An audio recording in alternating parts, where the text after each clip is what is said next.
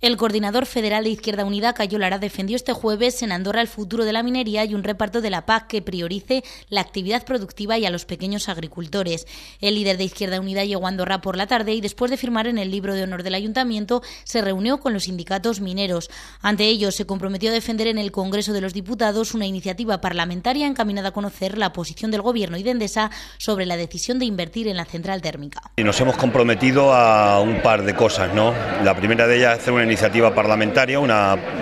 proposición no de ley que vamos a llevar para conocer exactamente la posición del Gobierno y la situación que tiene en este momento la empresa Endesa con lo que relativo a la inversión,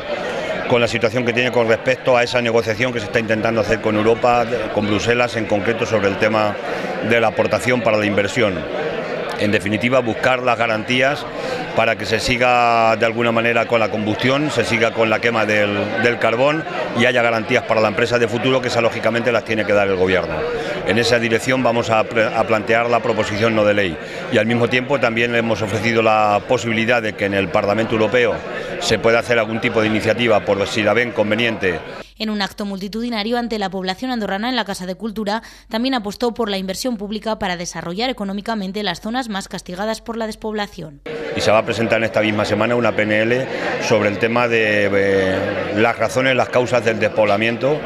y por tanto presentando alternativas en la dirección en lo que tiene que ver con la inversión pública, que estamos en un momento determinado para hacer inversión pública y para que pueda servir de tirón del desarrollo económico general y de tirón de, sectores de la economía privada. De cara a las próximas elecciones generales de 2015, Lara abogó por un gran pacto de todos los partidos de izquierdas para desbancar al Partido Popular del Gobierno de España. En lo que se refiere a los pactos municipales, Lara los desvinculó de la política general. Sí, una cosa es la política general y otra la política en los municipios y especialmente en los pequeños municipios. Hay pactos puntuales que se organizan en los pequeños municipios y sobre materias concretas y por tanto en ese sentido tiene libertad nuestras organizaciones para que puedan tomar decisiones en esa dirección. Además de vecinos de la localidad estuvieron presentes representantes del partido, concejales y afiliados de todo el Bajo Aragón histórico.